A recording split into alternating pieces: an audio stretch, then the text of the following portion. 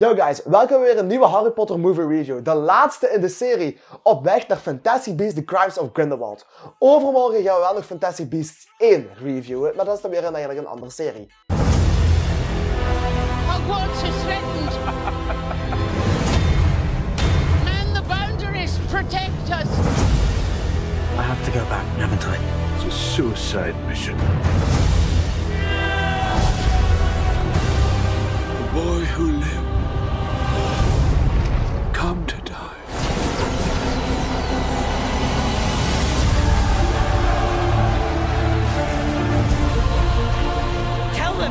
Them how it happened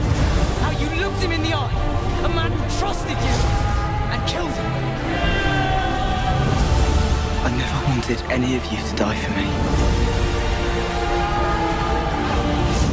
You'll stay with me. Always. Until the end. Come on, Tom. Let's finish this the way we started. Together! Verhaal 190 op 200. Het is een zeer sterk en hartverscheurend verhaal, aangezien alles wat je kent en iedereen die je kent daadwerkelijk gewoon legit wordt afgeslacht. Het verhaal is spannend vanaf het begin, je weet niet wie vriend of vijand is. En op den duur, je weet wat ze meemaken en je weet hoe sterk het is.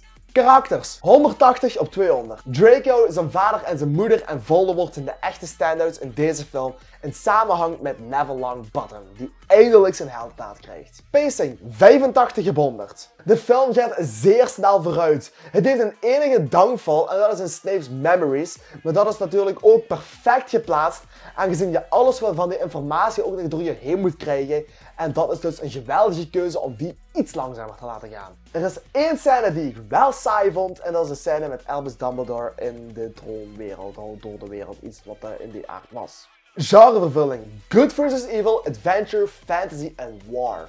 Zoals je ziet, Coming of Age is eraf, aangezien we nu daadwerkelijk opgegroeid zijn met al deze karakters. Ze kunnen niet meer groeien. Het speelt zich ook af in één avond en dat is gewoon daadwerkelijk prachtig om te zien. Ook heb ik War toegevoegd, aangezien het eigenlijk ook wel basically een oorlogsfilm is. En dat heeft perfect op naar al deze waarden.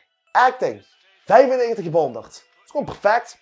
Kan er niks over zeggen. De mensheid van deze film wil ook echt geweldig en doopte hem een 81 op 100. De critics waren zelfs nog blijer en gaven de film een 87. En ik vond deze film ook geweldig en ik gaf hem een 80 op 100. Wat de totaalscore brengt op 893 op 1000. Zoals je kan zien, Harry Potter en the Deathly Hallows Part 2 op nummer 1 in de Harry Potter Movie Review ranglijst. Dit zijn alle Harry Potter films gerankt en overmorgen gooi ik er ook nog eens Fantastic Beasts tussen. En over drie dagen Fantastic Beasts The Crimes of Grindelwald. Ik wil jullie graag bedanken voor het kijken en voor al de support op de Harry Potter Movie Reviews. Laten we net zo hard in knallen bij de volgende twee video's over Fantastic Beasts en Fantastic Beasts The Crimes of Grindelwald. En ik kan ook al een kleine spoiler meegeven naar wat er nog gaat komen op Fantastic. En dat is vanaf eind november alle MCU-films één keer per week een nieuwe video op dit kanaal. Leidend naar Avengers 4. Bedankt voor het kijken. Bye bye.